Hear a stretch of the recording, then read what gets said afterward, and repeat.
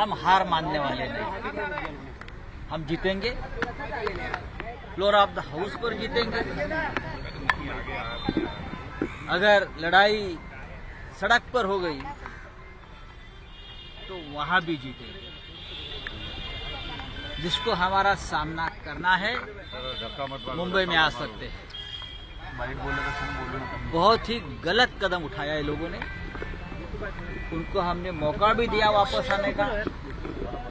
अब मुझे लगता है टाइम निकल चुका है।